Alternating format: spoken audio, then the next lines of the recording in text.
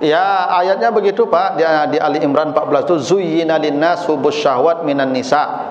Dijadikan indah ya dalam kehidupan manusia maksud laki-laki itu kecintaan pada perempuan.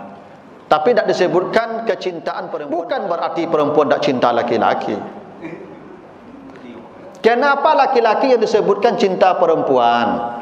Satu, untuk soal yang begitu itu memang laki-laki lebih aktif. Perempuan bersifat pasif perempuan tidak boleh aktif soal itu. Harus laki-laki. Tidak boleh perempuan.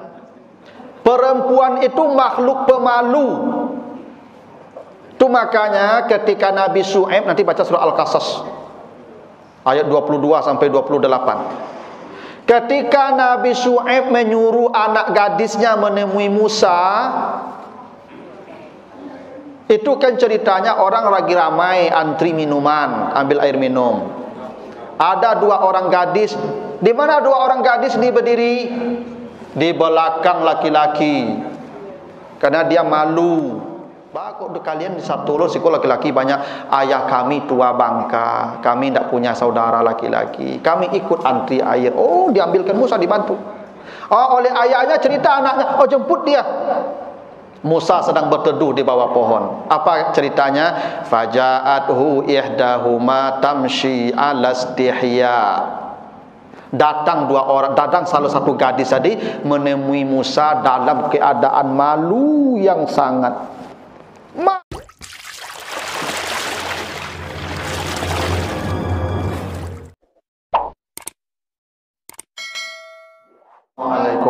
Warahmatullahi wabarakatuh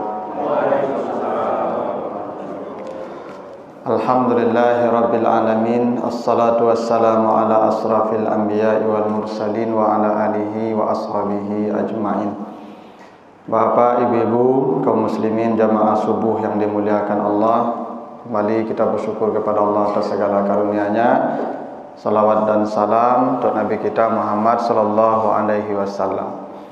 Bapak Ibu yang saya muliakan, kita lanjutkan kembali bahasan kita masih di surat Al-A'raf ayat yang ke-11 sampai 25 tentang bagaimana perseteruan antara uh, iblis setan dengan Adam ketika setan diusir dari surga. Terakhir kita bahas sampai ayat yang ke-18 ketika uh, iblis hendak diusir dari surga, dia bersumpah di hadapan Tuhan, "Ya Tuhan, tolong beri saya waktu hidup sampai hari berbangkit. Dan saya akan menggelincirkan Adam dan anak cucunya dari jalanmu yang benar. Dan saya akan mendatangi mereka dari depan, dari belakang, dari kanan, dari kiri." Kata Allah, baiklah, engkau saya beri waktu hidup sampai hari kiamat dan engkau boleh datang kepada mereka dari empat arah yang engkau minta itu. Depan, belakang, kanan, kiri. Itu ya terakhir sampai ayat yang ke-18, sekarang ayat yang ke-19. Ketika iblis sudah diusir dari surga, apa kata Allah kepada Adam? Wa ya Adam uskun anta wa zaujukal jannah fakula min haitsu syi'tuma wa la taqraba hadhihi syajarah fatakuna minaz zalimin ya adam tinggallah engkau di sorga bersama istrimu makanlah semua yang ada di sorga sesuka hatimu tapi jangan engkau dekati pohon ini niscaya engkau termasuk orang yang zalim ayat ini sebenarnya Bapak Ibu memberikan apa isyarat betapa langsung Allah menjawab permintaan iblis. Kan iblis tadi berkata, saya akan menggelincirkan manusia. Saya akan menggelincirkan Adam dari jalanmu. Ya, beri saya izin untuk mendatanginya. Ketika iblis minta ya izin untuk menggelincirkan Adam, Allah kasih ruang. Lewat apa? Lewat perintah dan larangan. Jadi kata Allah kepada Adam di sorga, makanlah yang ada di sorga semua dan jangan kau dekati ini pohon. Jadi ada dua hal di sini, ada perintah, ada larangan. Ini ruang untuk setan. Kan untuk apa ada larangan, untuk apa ada perintah? Kan kalau Allah mau, ya Adam tinggal saja di sorga, tutup kunci pintu sorga, selesai. Ya enggak? Tapi kata Allah tinggal engkau di sorga, ah, ada dua di situ. Ada perintah, makanlah. Ada larangan, jangan kau dekati ini. Perintah dan larangan ini, ini pintu untuk setan. Anda tidak ada perintah dan larangan, Nabi Adam selamat Bapak Ibu. Tapi begitulah cara Allah memberikan ya rahmatnya kepada setan atau iblis tadi. Diberikan dia kesempatan dengan ya memberikan kepada Adam dua hal. Ada perintah ada larangan. Memang setan itu masuk kepada kita lewat dua ini. Perintah atau larangan. Yang diperintah kita dicegahnya yang dilarang kita disuruhnya. Itulah upaya setan. Jadi Bapak Ibu itu kenapa? Misalnya begini Bapak Ibu kalau baca surat uh, apa surat uh, Al-Maidah 91 ya Inna ma yuridu syaitan ayuki abainakumul adawata wal bagda fil khamri wal maisir wa yasuddukum an zikrillah wa anis salah. Setan itu menjalankan misinya kepada manusia lewat dua pintu. Pintu larangan dan pintu perintah. Makanya kata Allah, setan itu menjalankan misinya lewat khamar dan judi. Karena khamar dan judi dilarang. Atau lewat pintu zikir dan salat. Karena salat dan zikir perintah. Tapi hebatnya setan itu memilih pintu larangan daripada pintu perintah. Itu makanya maisir apa al, al khamru wal maisir didahulukan daripada menghalangi salat dan zikir. Karena larangan ini lebih lebih kuat tarikannya daripada perintah. Itu kenapa Bapak Ibu ya uh, ketika setan datang kepada Adam Adam tidak disuruh eh Adam tidak usah makan yang ini tidak usah makan yang ini yang ini saja makan. Tidak begitu.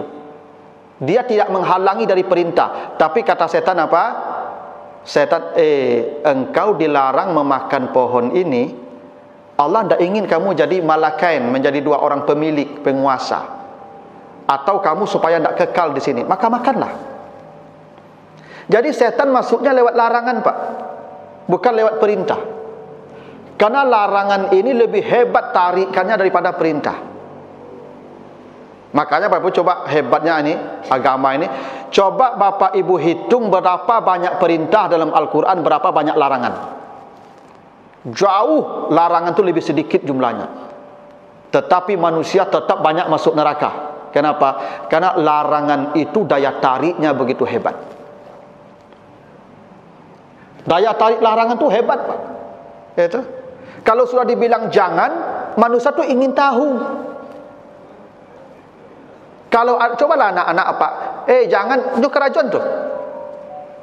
Karena daya tarik larangan tu begitu hebat. Itu kenapa setan tak masuk lewat pintu perintah tapi masuk lewat pintu larangan. Maka setan berkata kepada fawaswasa lahum syaitan, setan mewaswas kepada Adam, liyubdiya lahuma mawuriya mawuriya anhuma min sawatihima. Agar Adam membuka auratnya menampakkan auratnya. Jadi memang begini Pak Ibu.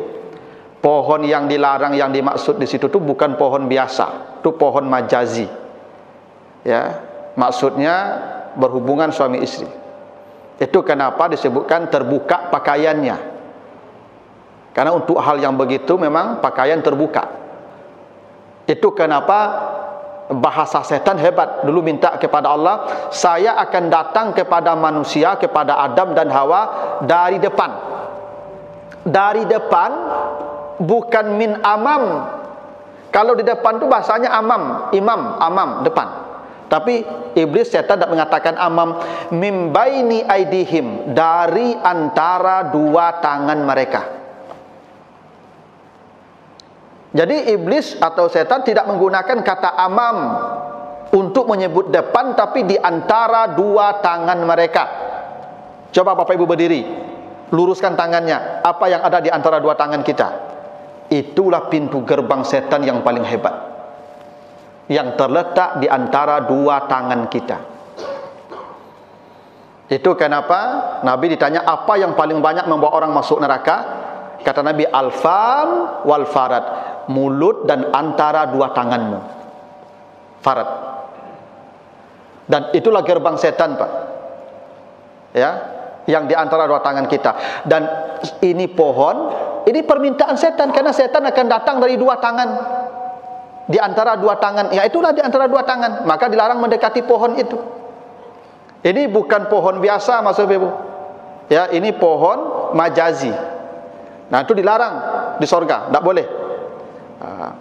Dan yang hebatnya Bapak Ibu, yang membuat Nabi Adam itu tergelincir, sebenarnya Nabi Adam tidak tergoda dengan iblis. Tidak. Dengan setan dia tidak tergoda. Tapi ini setan wa qasama huma inni lakuma minas salihin. Dia bersumpah membawa nama Allah.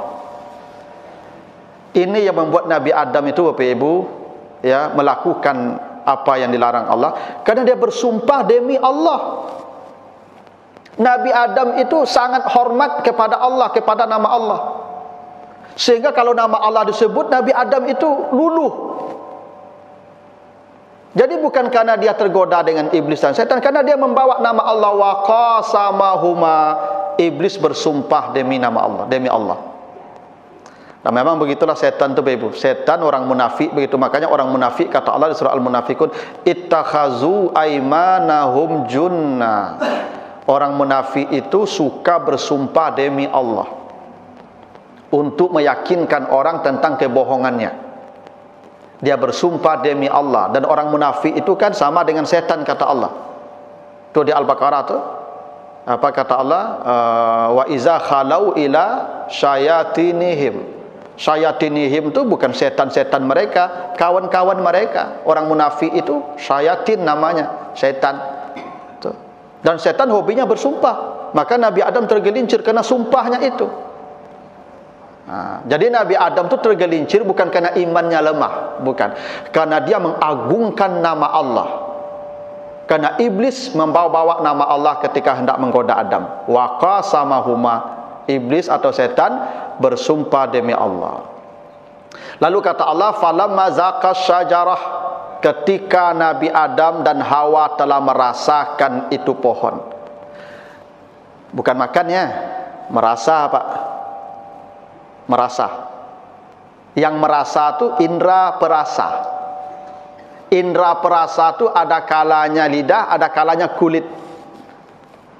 Itu kenapa pohon yang dimaksud bukan pohon biasa. Karena merasa. Itu kulit yang merasa yang paling tinggi nikmatnya. Bukan lidah.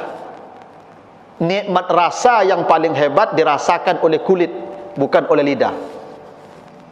Ya, itu kenapa? Yang dimaksud zaqa merasakan itu maksudnya yaitu melakukan ya hubungan suami istri. Karena zakah merasa bukan makan zakah walaupun nanti di, di surat Taha disebutkan makan di situ. Lalu maka tampaklah aurat mereka berdua. Terbuka auratnya. Ya biasalah kalau kegiatan aktivitas begitu ya terbuka auratnya watafika yaksifani anhuma alaihima mi warakil jannah. Maka Adam dan Hawa langsung mencari daun-daun sorga untuk menutupi aurat mereka berdua. Hebatnya Bapak Ibu di sorga tidak ada orang. Hanya Adam dan Hawa. Ketika aurat mereka terbuka kan mereka suami istri. Tak ada masalah tuh untuk apa Adam dan Hawa bergegas menutup auratnya?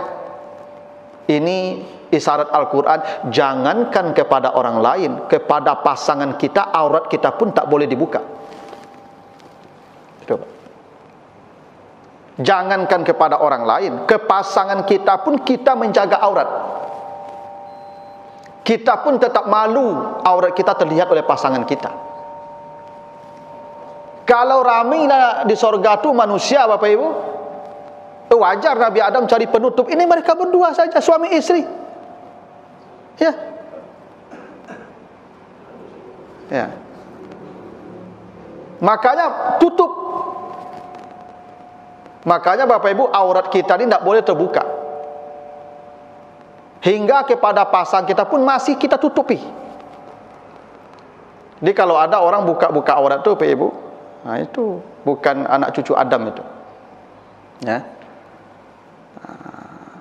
Itu kenapa Nabi Adam segera menutupi dengan daun-daun sorga. Dan menutupnya bukan tutup biasa, ia sifan. Tutup yang berlipat.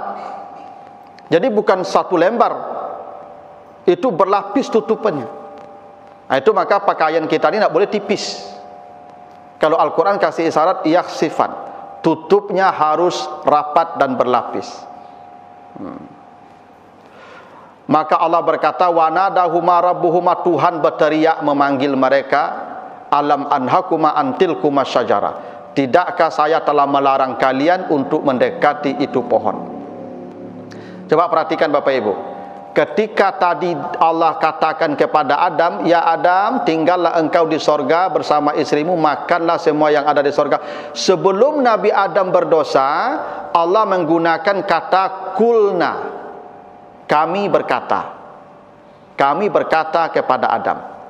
Tapi ketika Adam sudah berdosa, Allah tidak mengatakan lagi kulna, tapi wanadahuma Tuhan berteriak memanggil Adam. Beda pilihan katanya Pak ya. Sebelum berdosa kulna kami berkata. Berkata itu dekat. Ketika Adam sudah berdosa bukan kulna lagi nada rabbuhuma. Berteriak memanggil mereka. Kenapa bisa berbeda pilihan katanya? Sebelum Adam berdosa, dia dekat dengan Allah, maka qala terjadi dialog dengan Tuhan. Tapi begitu dia sudah melanggar larangan Allah, Allah menjauh dari Adam. Adam jauh dari Allah, makanya Tuhan berteriak. Wanada. Apa isyaratnya itu? Manusia kalau sudah berdosa dan makin banyak berdosa, dia makin jauh dari Tuhannya. Dosa ini membuat kita jauh dari Tuhan. Semakin banyak dosa, pasti semakin jauh dari Tuhan. Itulah kenapa Bapak Ibu Nabi Adam disuruh turunlah ke bumi. Ihbita. Untuk menunjukkan jarak yang jauh tadi. Turun. Itu makanya setelah Adam berdosa disuruh turun. Karena dosa itu akan membuat derajat manusia turun. Dosa itu Bapak Ibu sifatnya akan merendahkan derajat manusia. Makanya Bapak Ibu coba perlihatkan. Orang yang sebelumnya dielukan jadi pejabat, ya ketua DPR misalnya lalu tertangkap itu langsung jatuh tu Pak.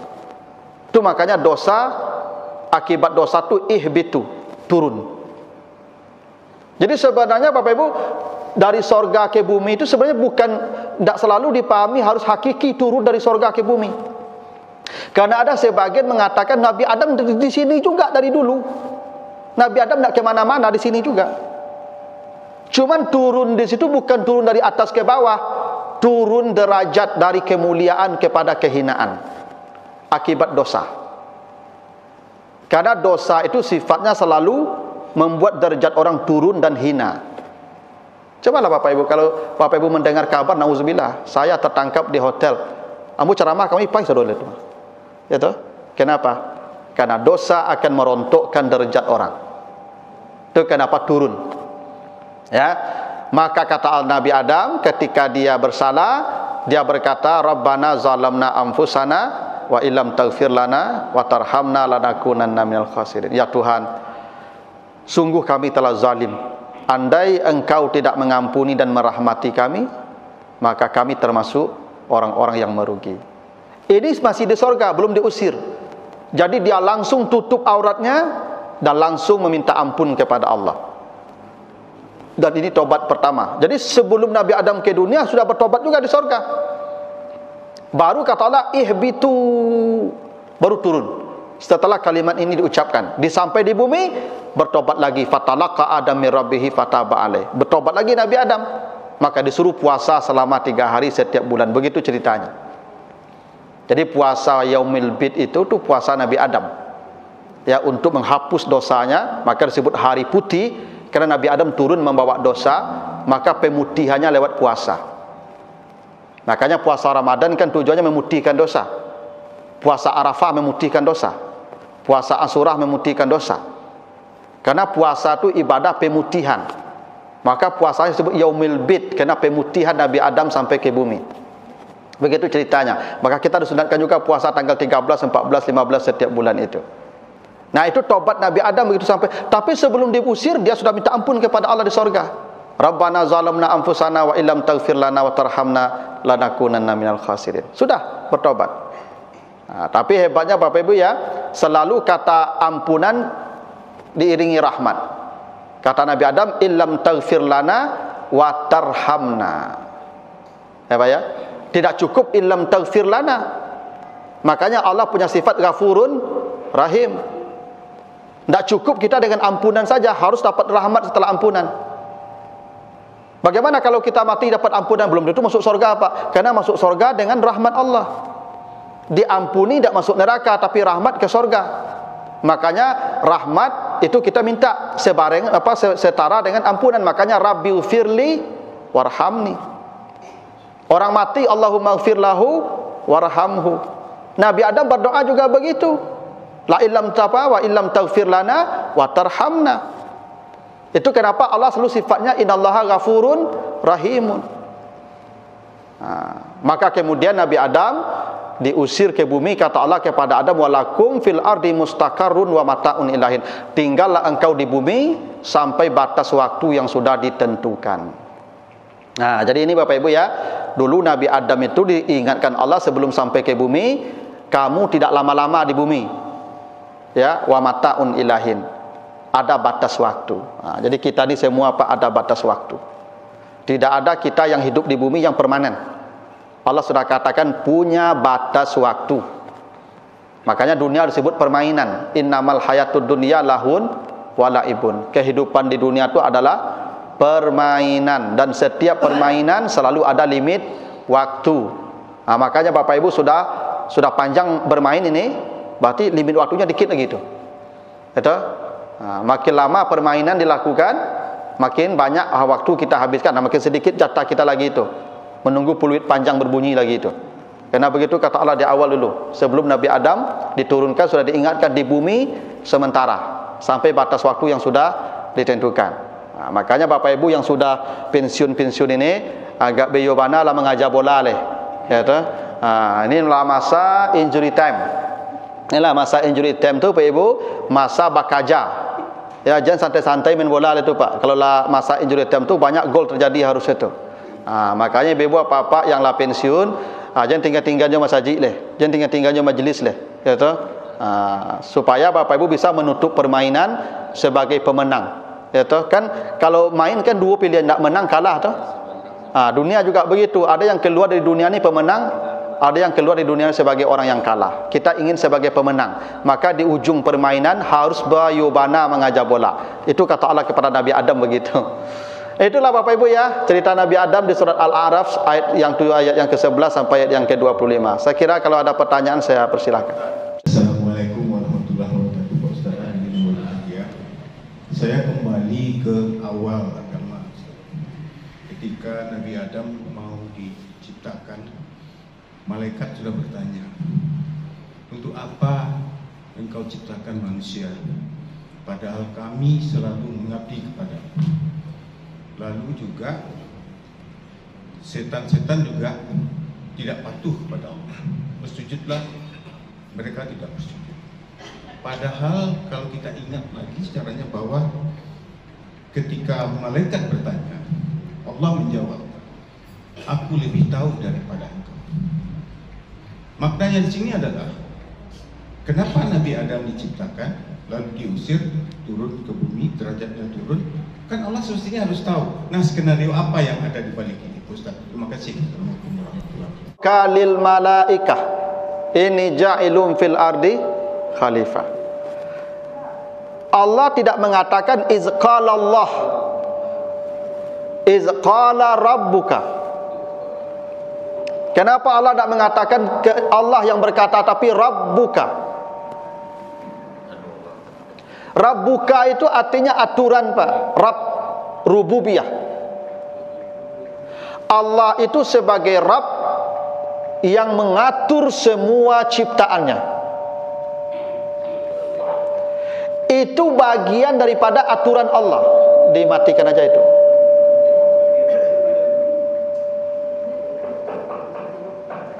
Nah. Jadi itu aturan Pak.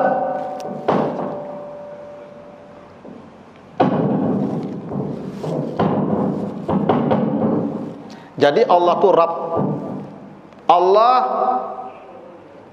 Sutradara. Rabb itu namanya sutradara. Dia yang punya panggung. Dan sandiwara harus dimainkan. Di sandiwara itu harus ada tokoh protagonis dan ada tokoh antagonis. Kalau tokohnya antagonis semua, tidak enak sandiwara apa? Kalau tokohnya baik semua, tidak rancak. Ini mako mako uh, sepiliam mako mako film ko seru, ada Amitabh Bachchan, ada Tuan Takur. Ah, itu seru tu pak. Ya enggak? Allah membuat sutradara membuat skenario cerita karena Allah Rabb Allah sutradara tunggal Allah bisa saja menciptakan Adam tanpa musyawarah Allah bisa saja menurunkan Adam langsung ke dunia tanpa singgah di sorga Allah bisa saja tidak kasih izin ke iblis setan menggoda Adam semua bisa tapi Allah membuat jalan cerita begitu indah Ya tak? Nanti semuanya kembali kepada Allah sebagai sutradara. Boleh jadi lakon antagonis tetap dapat penghargaan. kan ada juga penghargaan untuk lakon antagonis tu. Boleh jadi setan nanti dapat penghargaan juga dari Tuhan. Apa cara penghargaannya? Tuhanlah yang tahu, Pak. Bagaimana caranya? Itu kan semua Allah yang punya sutra yang punya cerita. Kita ini menjalani saja. Kebetulan kita dipilih Allah sebagai tokoh ini orang beriman. Manusia pun ceritanya beda-beda tuh. Ada yang kafir pula, ada yang munafik pula. Bisa tak Allah menjadikan semua orang beriman di muka bumi? Bisa, Pak. Gampang sekali kalau Allah mau menjadikan semua beriman, tapi tidak sutradara tidak menginginkan jalan cerita begitu.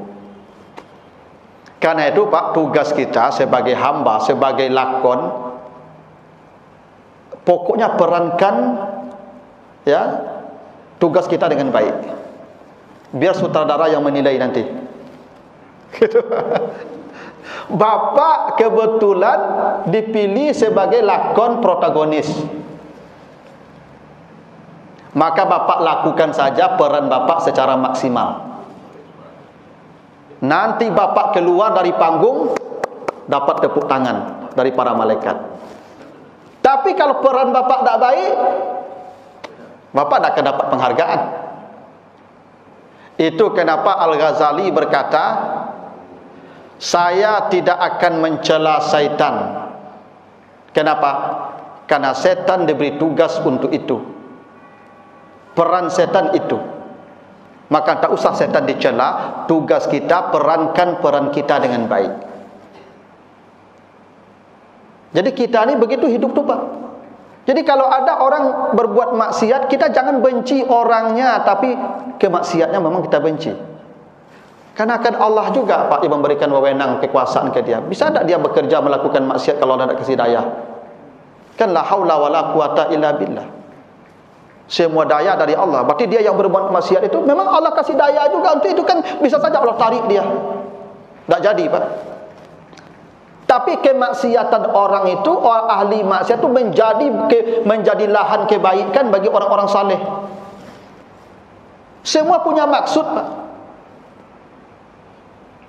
Kenapa misalnya Adam tak turun langsung ke bumi tapi singgah di sorga dulu? Allah punya maksud karena bumi ini hendak dimakmurkan, dibikin indah. Maka Nabi Adam ditempatkan di sorga dulu agar dia punya punya gambaran tentang keindahan. Andai Nabi Adam turun langsung ke bumi tidak disinggahkan di sorga dulu, maka rumah awak seperti sarang burung sampai kini hidup itu. Tidak akan membuat gedung-gedung kita pak. Kita mendekor gedung-gedung ini karena di sorga kita lihat itu. Karena di sorga itu kata Allah shim marfu'a. Semuanya bertingkat-tingkat, tinggi-tinggi. Makanya kita bikin pula yang bertingkat-tingkat yang tinggi-tinggi di sini karena di sorga lihat begitu dulu. Ya Pak. Andai tidak ada dulu Nabi Adam di sorga, tidak mungkin kita bikin pesawat, bikin mobil dengan kecepatan tinggi. Kenapa? Di sorga kendaraannya cepat-cepat. Burak namanya. Burak itu kilat kecepatannya. Maka kita bisa bikin pula kendaraan-kendaraan cepat di sini. Itu buah kita ditempatkan di sorga. Bisa saja Allah langsung ke sini, Pak. Nah, itu skenario Tuhan sebagai sutradara tunggal. Dan kita tidak boleh mencampuri urusan sutradara. Kita sebagai pemain, perankan saja peran kita dengan baik. Jangan urus jalan cerita yang didesain oleh sutradara. Nanti di sorga kita menerima penghargaan sesuai dengan peran masing-masing. Gitu Pak. Jadi kalau terlalu jauh kita bertanya nanti itu Pak, wah itu kacau nanti itu Pak. Sekarang tugas kita hamba, kita dipilih Allah dengan tugas ini, tugas kita jalankan dengan baik. Insya Allah ada penghargaan. Insya Allah ada penghargaan setelah sandiwara berakhir. Setelah panggung ditutup. Panggung akan ditutup. Kehidupan semua akan berakhir. Ya, bahkan sorga pun pada ujungnya akan ditutup Allah. Karena tidak ada yang kekal kecuali hanya Allah. Kullu man 'alaiha fan wa yabqa wajhu rabbika dzul jalali wal ikram. Yang baqa hanyalah Allah.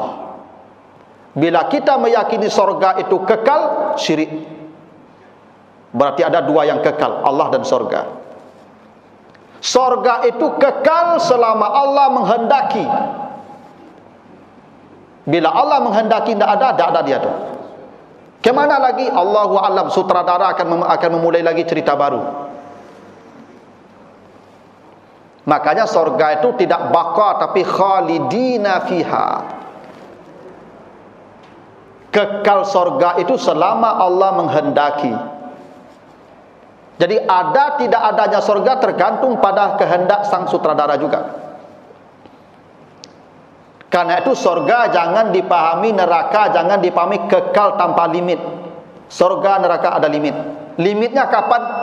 Kehendak Allah. Dan kita tidak tahu kehendak itu kapan. Yang kekal baka hanya Allah semata. Begitu tauhid namanya Pak Ibu. Oh tapi jangan begitu. Eh, kalau tidak kekal surga mengapa payah beribadah wah indah kesalamu sulma. Nah itu jangan. Tapi saya katakan tugas kita kan sebagai pemeran perankan peran kita sebaik mungkin. Insya Allah ada penghargaan. Kalaupun nanti dibikin cerita baru, mungkin peran kita naik Pak. Kalau selama ini peran pembantu, sekarang kita peran utama lagi Pak. Kan bisa jadi begitu.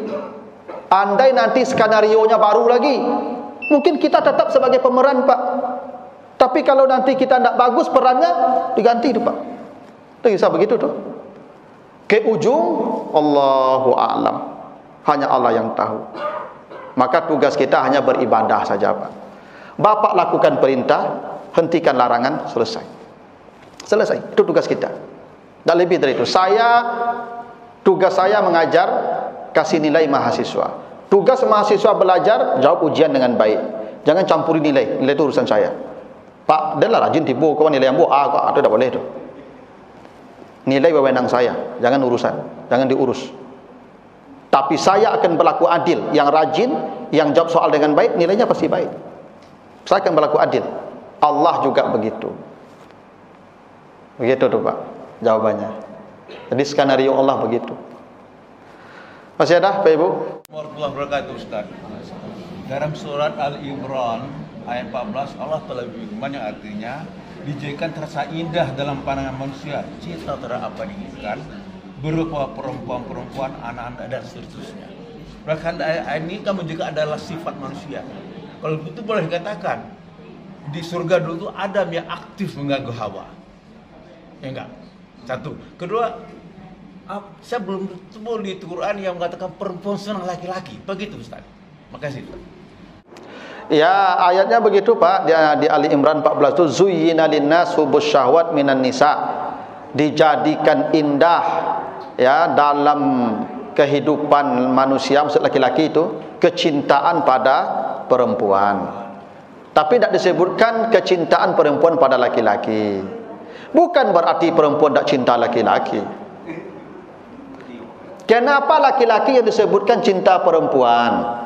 Satu, untuk soal yang begitu itu memang laki-laki lebih aktif perempuan bersifat pasif atau objek Perempuan tak boleh aktif soal itu.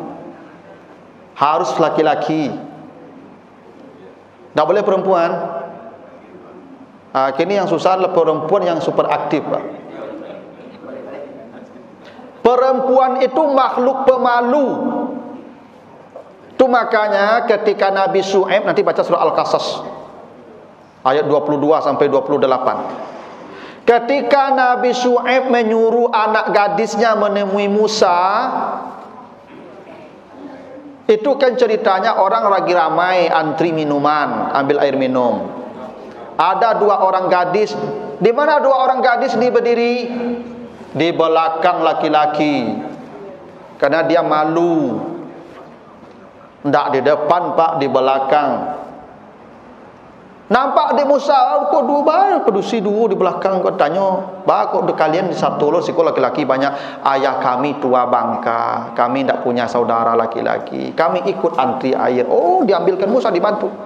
Oh, oleh ayahnya cerita anaknya, oh jemput dia. Musa sedang berteduh di bawah pohon. Apa ceritanya? Faja'athu ihdahuma tamshi alastihya datang dua orang datang salah satu gadis tadi menemui Musa dalam keadaan malu yang sangat. Malu.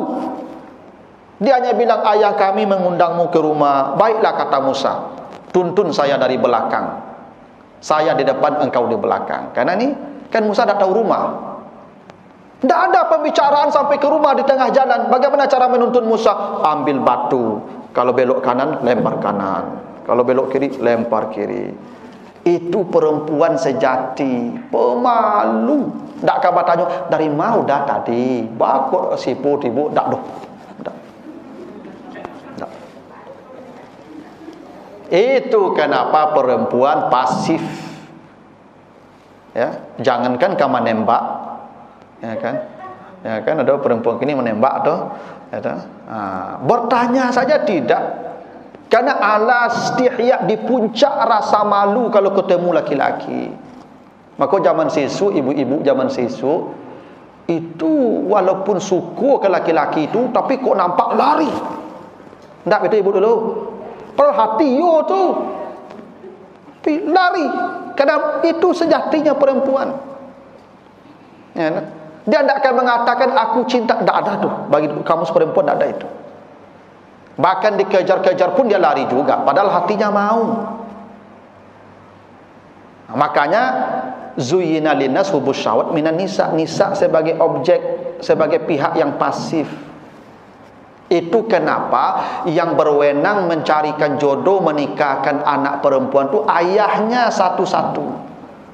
Bahkan tanpa meminta izin ke dia Karena dia tidak tahu laki-laki dan dia tidak malu dengan laki-laki. Serahkan saja ke ayahnya mencarikan yang cocok untuk dia.